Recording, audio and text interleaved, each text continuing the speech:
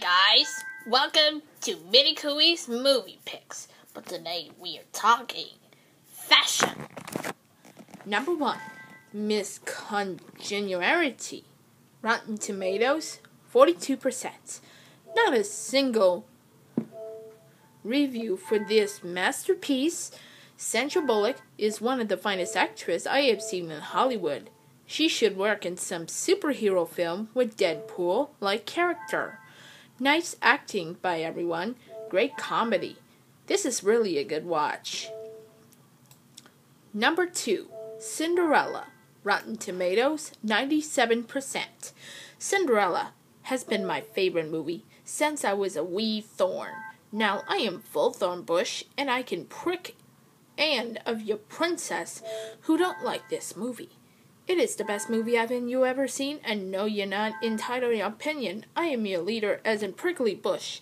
I will take over the world. JK, JK, I'm just messing with y'all.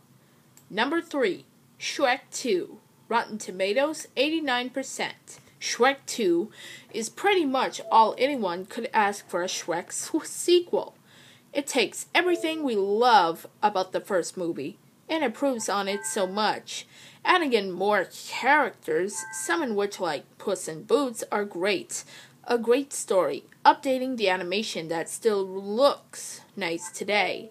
I see no flaws in this sequel. Shrek 2 is the rare sequel that improves on its processor. Shrek 2, is my opinion, is easily the best DreamWorks movie, and it's a great recommendation. And now let's take a look for the bonus artworks on Mixopolis channel.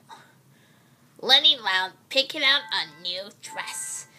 I need something amazing to wear. This one right here is perfectly perfect.